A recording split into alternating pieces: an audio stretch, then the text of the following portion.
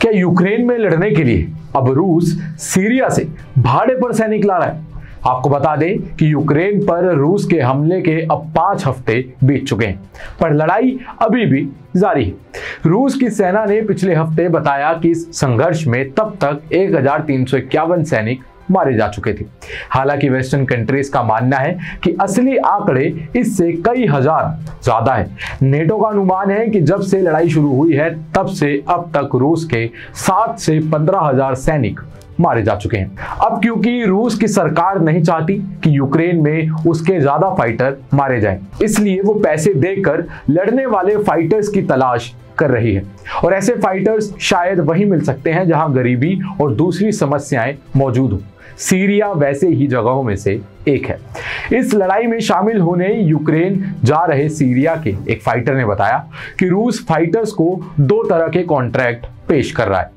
Front line पर लड़ने के लिए सात हज़ार डॉलर दिए जा रहे हैं। वहीं फ्रंट लाइन के पीछे रहकर लड़ने के लिए तीन हज़ार पाँच सौ डॉलर दिए जा रहे हैं। सीरिया के सोशल मीडिया पर रूस में यूक्रेन से लड़ने वाले मैसेजेस की बाढ़ सी आई हुई है और इन पोस्ट पर वॉर में शामिल होने के लिए बहुत से लोग इच्छुक भी नज़र आ रहे हैं। सीरिया के वो फाइटर आगे बताते हैं कि वो ऐसे कम से कम 200 लोगों को जानते हैं जिन्होंने वहाँ जाने के लिए अप्लाई किया है। उन्होंने ये भी कहा कि 80 परसेंट लोग सिर्फ़ खाने के जुगाड़ के लिए यूक्रेन जाना चाह रहे हैं।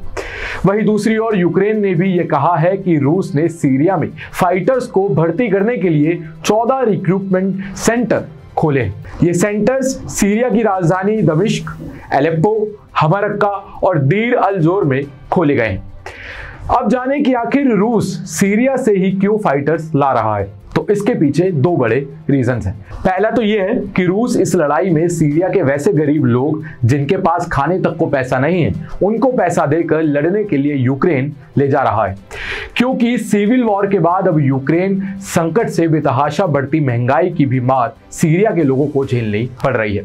यूक्रेन युद्ध के चलते सीरिया में भी अब खाने पीने के सामान काफ़ी महँगे हो गए हैं। इस लड़ाई के चलते आटा, तेल खाने पीने के दूसरे सामान सब कुछ पहले से काफ़ी ज़्यादा महँगे हो गए हैं। और रूस के लिए यूक्रेन से लड़ने जा रहे एक फाइटर ने बताया कि मेरा परिवार नहीं चाहता कि हम वहाँ जाएँ, लेकिन पैसे के लिए मुझे वहाँ जाना ही होगा। उन्होंने कहा कि अनुमान है कि हम वहाँ जाने वाले 90 प्रतिशत लोग मारे जाएँगे। फिर भी हम वहाँ जा रहे हैं क्योंकि हमें वहाँ जाना ही होगा। और दूसरा रीजन ये है कि 2016 में जब सीरिया में सिविल वॉर चल रही थी, तब रूस ने वहाँ की सरकार को अपना अहम समर्थन दिया था। इसकी वजह से बशर अल असद की सरकार और वहाँ की सेना को काफ़ी सहारा मिला था। वहीं रूस के सरकारी न्यूज़ चैनल ज्वेजदा टीवी के एक खबर में यह दावा किया गया है कि सीरिया की सेना अब रूस के उस पुराने एहसान का बदला चुकाना चाहती है, जो कभी रूस ने उस पर किया था। आज की वीडियो में महज इतना ही। आप देख रहे थे global now twenty four seven video को लाइक करें शेयर करें और चैनल को सब्सक्राइब करना ना भूलें। मैं तुषार, धन्यवाद।